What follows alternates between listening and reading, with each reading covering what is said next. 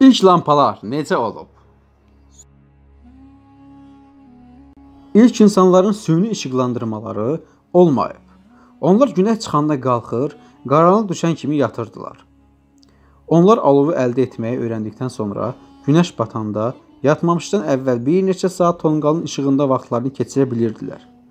Bundan başqa insanlar məişət hazırlamağı öyrənmişdilər. Məişəli belə hazırlayırdılar. Uzun və yoğun ağacın bir tərəfinə quru otu sarıyırdılar və piy ilə yağlayırdılar ki, məşil asan alışsın və uzun müddət yansın. İlk lampalar gildən və ya metaldan hazırlanmış qablardan idi. Onları hər hansı bir yanacaq maddəsi ilə, məsələn, bitki yağları ilə doldururdular. Yağın içərisinə bitki tellərindən hazırlanmış fitilin bir tərəfini salırdılar. Fitil yağı öz canına çəkirdi. O biri başından isə yandırırdılar.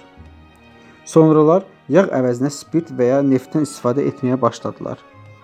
19-cu əsrdə isə qaz lampalarından istifadə edilməyə başlanıldı. Ancaq işıqlandırma üçün ən çox silindr şəklində və içərisində fitili olan nundan hazırlanmış şamlardan istifadə edilirdi. Şamın fitilini yandıranda mum əriməyə başlayır və şam təmiz yanana kimi alovu təmin edir. Əziz izləyicilər, bu qısa videonun da sonuna gəldik, çatdıq. Növbəti videolarımla görüşənədək ən əsasda kanala abunə olun. Allah'a əmanət.